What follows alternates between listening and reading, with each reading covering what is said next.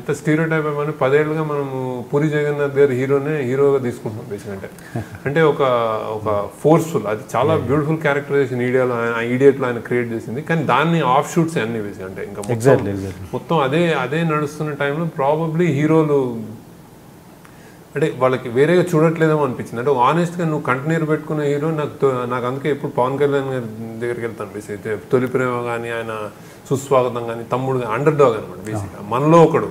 తప్పులు చేస్తుంటాడు నేర్చుకుంటాడు. ఆ తప్పులు చేసే తత్వం మన హీరోలకి ఒక టికెట్గా పోయింది. ఎవరు కొత్త హీరో అయినా కొత్త లాంచ్ చేసిన ఏ కొత్త కుర్రోడైనా సరే వాడు రావడం రావడమే అన్నీ కరెక్ట్ అందరినీ కొట్టగలుగుతాడు. అసలు కాన్ఫ్లిక్ట్ అనేది లేదన్నమాట సో ఇది ఇది ఇది మనకి నిజంగా అంటే నేను నిజంగా కరెక్ట్ చేసుకోవాల్సిన విధానం సో ఇది ఇందులో ఆనెస్ట్ లవర్ ఫిదాలో కంటిన్యూ పెట్టుకుంటాడు. చాలా సిగ్నిఫికెంట్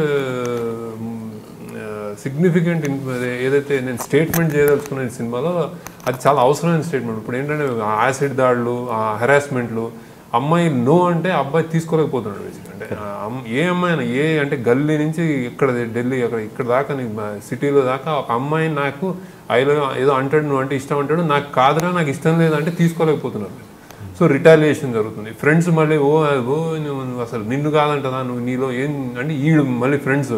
ఇదే కథలు ఇదే మద్యం సో ఇది ఇది ఇన్ఫ్లుయెన్స్ చేస్తుంది అనిపించింది నాకు. ఇందులో ఏంటంటే నువ్వు సిగ్నిఫికెంట్ డైలాగ్ ఏంటంటే నువ్వు నన్ను రివెంజ్ నువ్వు నేను నో చెప్పినందుకు రివెంజ్ తీసుకుంటున్నావా అని అంటది ఆమె భయంగా. అంటే కాదు అది నీ రైట్ నా ప్రాబ్లం నేను నువ్వు అంటే ఇష్టపడుతున్నాను.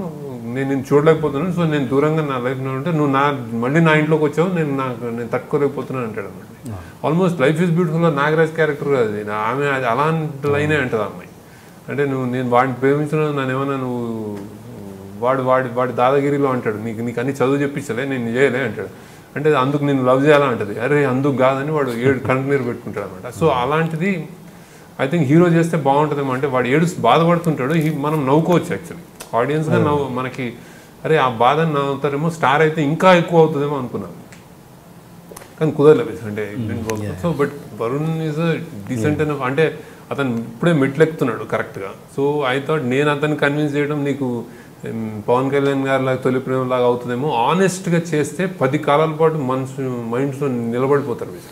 అమ్మాయిలకి అతని కళ్ళల రా అంటే ఇవన్నీ ఇప్పుడు మనవి వచ్చేయన్నీ ఒక ఏంటంటే ఒక చిన్న ఎడ్రిలిన్ రన్ లాంటిది అనమాట. టప్ అని ఒక ఆనందం ఇస్తాయి. సినిమా అయిన తర్వాత ఓకే ఎలా ఉందంటే "ఆ, బాగుంది హిట్ అంటే వాళ్ళు మనం అంతా ప్రొడ్యూసర్లు అందరూ చెప్పుకుంటారు సూపర్ హిట్ డూపర్ హిట్ అని వెళ్ళిపోతారు బేసిక్గా కానీ ఇలాంటి సినిమాలు ఏంటంటే నిలబడిపోతాయి. అంటే మీ మైండ్లో హాంట్ చేస్తాయి. అమ్మాయిలకి వీడు అరే ఇట్లాంటి వాడు బాగుంటాడు అని నువ్వు నిలబడిపోతావు అని చెప్పాను బేసిక్ అతన్ని కన్విన్స్ సో అది అదే నేను ఆయన పవన్ కళ్యాణ్ గారి ఫ్యాన్ ఫాలోయింగ్ ఇప్పటిదాకా అంత రేంజ్ అంటే దా అంటే అతను మన- మనలో ఉన్నాడు. కరెక్ట్ సో ఈ దీనికి స్టార్ కావాలనుకోవడం అది దా- ఆ రీజన్ రాకపోవడం అంటే అనిపించింది bell icon for more updates.